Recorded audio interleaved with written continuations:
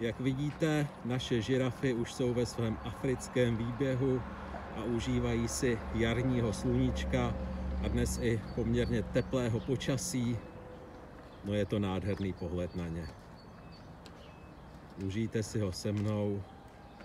Ten náš africký výběh je opravdu krásný a podívejte takhle vzadu za ním ještě sklenářka. Historický objekt, který také ještě patří do Zoo Praha. A když se podíváme ještě kousíček stranou, tak uvidíme stavbu nového pavilonu Goril. Možná spolu se mnou vidíte, že tam jsou auta, že tam je nějaký pohyb. Ta stavba stále pokračuje, pandemie, nepandemie. Ale ještě rychle zpátky k žirafám se sklenářkou v pozadí.